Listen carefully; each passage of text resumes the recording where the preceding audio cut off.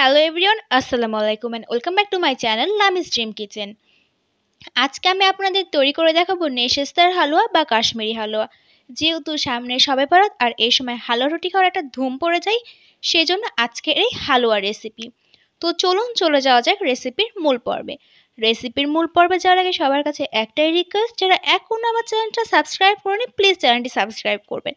আর যারা করেছেন, তাদেরকে অসংখ্য ধন্যবাদ। আমি এখানে এক কাপ সুজি, তিন কাপ পানিতে সারা রাত ভিজিয়ে রেখেছিলাম।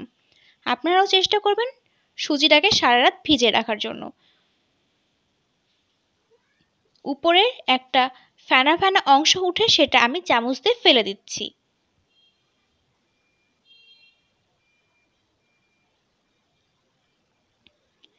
এবার সুজির পানিটা আমি কাপড়ের সাহায্যে ছেঁকে নেব। আপনারা চেষ্টা করবেন সুতি কাপড় নেয়ার। এতে করে খুব ভালোভাবে ছেঁকে নেওয়াটা হয়। আর ছেঁকে নেওয়ার পর যে পানিটা বের হবে তাকে বলে নেশেস্তার পানি। আপনারা দেখলেই বুঝতে পারবেন আমি কীভাবে সুজিটাকে ছেঁকে নিব।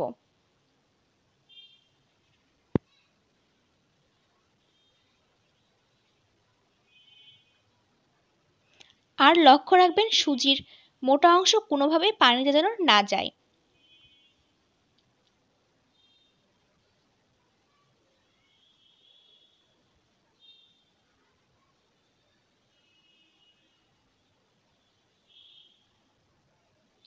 হাতের সাহায্যে ভালো মতো নিংড়ে নিতে হবে পানিটাকে।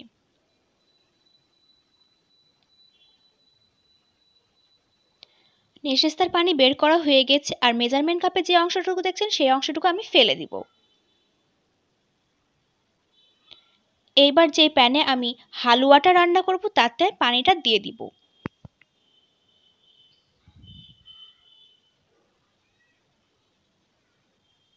এবার এতে দিয়ে দিব দুই কাপ চিনি।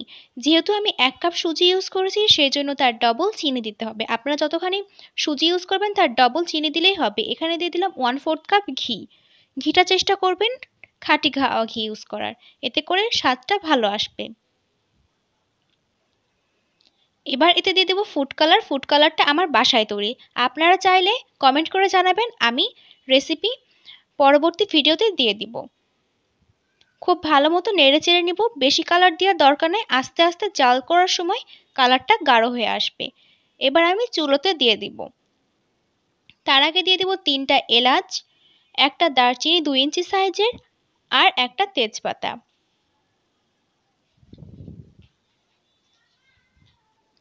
চুলাতে দিয়ে দিয়েছি। এবার অনবরত নাড়তে থাকতে হবে। নাড়া একবারের জন্য থামানো যাবে না না হলে নিচে লেগে যেতে পারে। দেখতেই পাচ্ছেন জাল করতে করতে আস্তে আস্তে হালুয়ার কালারটা চেঞ্জ হতে থাকছে আর গাঢ় হয়ে যাচ্ছে। এই পর্যায়ে আমি এলাচগুলো ফেলে দিব।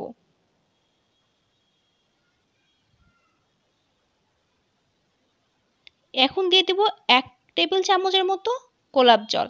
গোলাপ জল দেওয়ার পর খুব ভালো মতো নাড়তে হবে।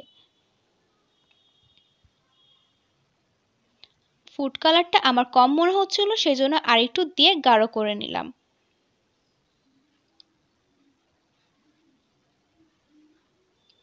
আর আগেই বলে দিয়েছি, অনবরত নাড়তে থাকতে হবে।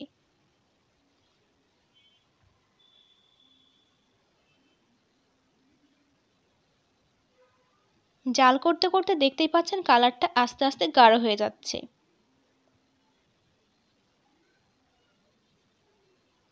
অনবরত নাড়তে থাকতে হবে আর চামচ দিয়ে চেক করে নিতে হবে হয়ে গিয়েছে কিনা। এই পর্যায়ে আমি দিয়ে দেবো এক চা চামচ ঘি।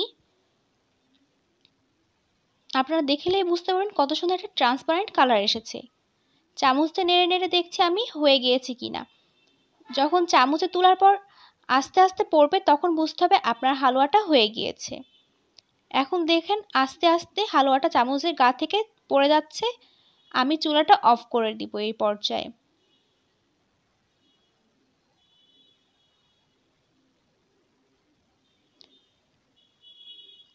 আমি যেই ট্রেতে হালুয়াটা সেট করব, তাতে আগে থেকেই ঘি গ্রিস করে রেখেছিলাম, তাতে আমি হালুয়াগুলো ঢেলে দিব। আর স্প্যাচুলার সাহায্যে চারি সাইড সমান করে ছড়িয়ে দিব। আর অপেক্ষা করব একবারে ঠান্ডা হয়ে আসা পর্যন্ত। ঠান্ডা হয়ে এসেছে, এবার পছন্দ মতো শেপে আমি কেটে নিব। আপনারা আপনাদের পছন্দ মতো শেপে কেটে নেবেন।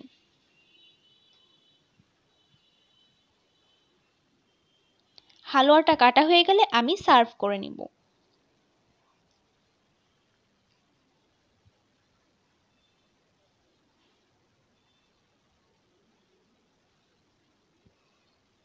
এই তো হয়ে গেল মজাদার নেশেস্তার হালুয়া বা কাশ্মীরি হালুয়া। রেসিপি কেমন লেগেছে অবশ্যই কমেন্ট করে জানাবেন, ভিডিওতে লাইক দিবেন শেয়ার করবেন। চ্যানেল সাবস্ক্রাইব না করলে প্লিজ চ্যানেলটি সাবস্ক্রাইব করবেন। আর হালুয়াটা রান্না করলে অবশ্যই আমার ফেসবুক গ্রুপে পিক শেয়ার করতে ভুলবেন না। লিঙ্ক ডেসক্রিপশন বক্সে থাকবে। আজকে এই পর্যন্ত আপনারা ভালো থাকবেন, আমার জন্য দোয়া করবেন। আমার পরবর্তী ভিডিও দেখার জন্য আপনাদের আমন্ত্রণ রইল। আল্লাহ হাফেজ!